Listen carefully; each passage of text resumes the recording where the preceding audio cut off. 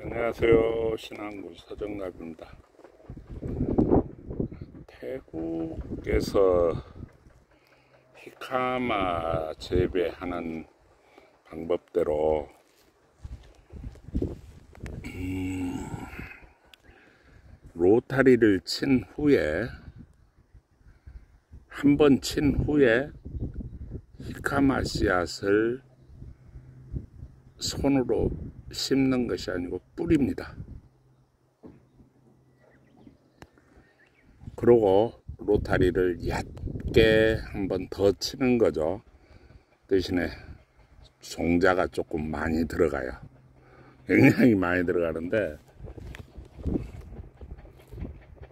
갈라진 틈 사이로 이렇게 올라오고 있어요. 갈라지지 않아도 이렇게 올라오기는 오는데 이 땅이 비가 오면 굳어져 버리거든요. 굳어져 버리는데도 이렇게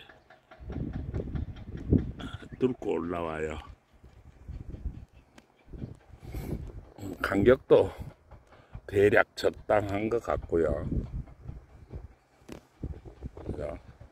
어, 대신에 조금 이제 가뭄이 들 적에는 조금 어려움이 있을 수도 있는데 의외로 괜찮은 것 같습니다. 지금 이게 약 400평 되는데 400평에서 음, 멀칭 비닐 값하고 또 멀칭을 해주는 그 관리기 인건비하고 그런 것을 계산을 해 봤을 적에 아, 조금 풀을 한 두 번 정도 매주면 괜찮지 않을까 이런 생각이 들어요. 이건 씨가 많이 들어가서 촘촘히 났죠.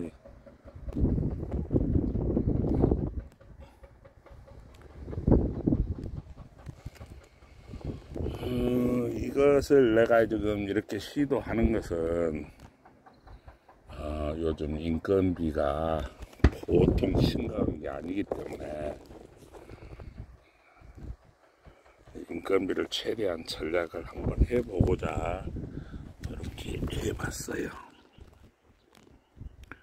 여기도 있을까? 자, 이렇게 땅을 비집고 나오죠. 비집고 나와요.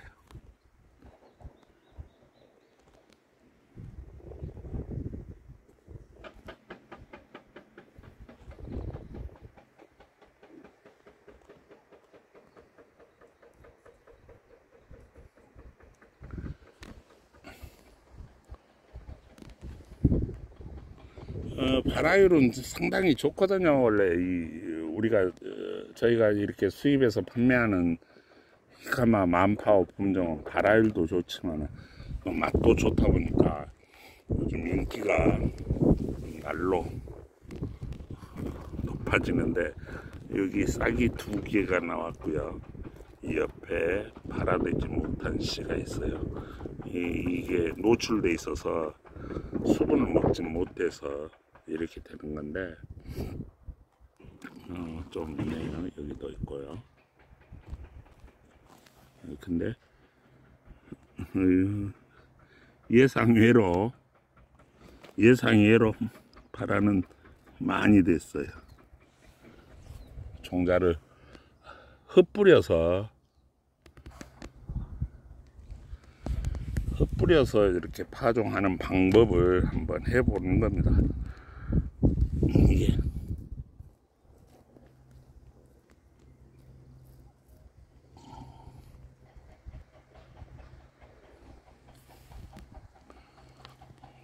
생각외로 잘 나왔어요. 얘는 풀씨가 너무 많아서 어, 조만간에 내일 모레쯤 비가 온다 그러니까 어, 풀 작업을 한번 해야 될 것 같아요. 이거 너무 촘촘히 뺏겼어요.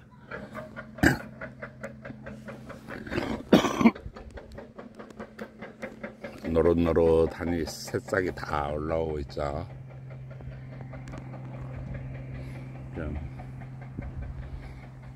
멀칭하지 않은 상태에서 이 가마가 얼마나 잘 될까 그거를 한번 해보는 겁니다. 아 바라일 좋아요.